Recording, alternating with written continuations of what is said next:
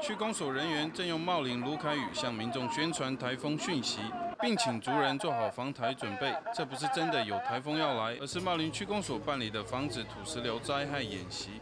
参与演习的单位除了区公所以外，还有消防队、分驻所、第八军团及中华电信等多个单位。防灾演习内容也针对茂林区的地理位置举行复合式的灾害演练。这次演练哈，主要针对我们在茂林里啊，尤其是情人谷地区，它是属于啊低洼地区啊。每次灾害的时候哈，这边都会造成我们这个水啊淹埋到我们这个茂林部落，所以我们这次的啊演习对象啊，主要是我们茂林的情人谷部落啊。当然，我们希望是说透过这样的一个演练，让我们的乡亲哦更能够了解在啊。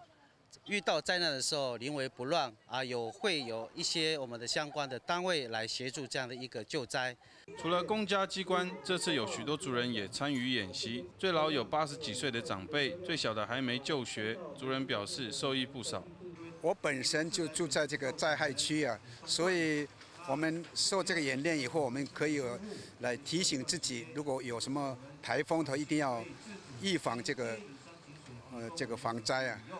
就有帮助啊，那个有台风来的时候可以那个，就是讲到演习，然后及时逃跑。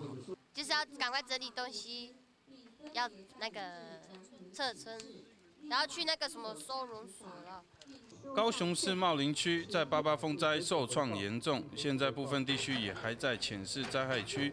茂林区公所希望透过这样的防灾演练，能提供族人正确的避难知识，并在灾害来袭时做出及时反应避难。记者巴郎高雄茂林采访报道。